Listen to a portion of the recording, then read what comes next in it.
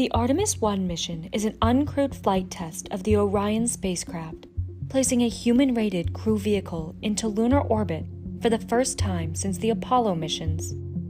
The mission will showcase the capabilities of both Orion and the Space Launch System, or SLS, NASA's powerful new rocket. Communication services for the Artemis 1 mission are provided by NASA's two major networks the Near Space Network and the Deep Space Network. For Artemis 1 launch, the Near Space Network's Launch Communication segment provides critical links with SLS and Orion. The network's constellation of tracking and data relay satellites, or TDRS, provides near continuous communication services to the mission during ascent and low Earth orbit. As Artemis 1 journeys to the Moon, the Deep Space Network acts as the mission's primary service provider beyond low Earth orbit, with the Near Space Network providing supplemental navigation data.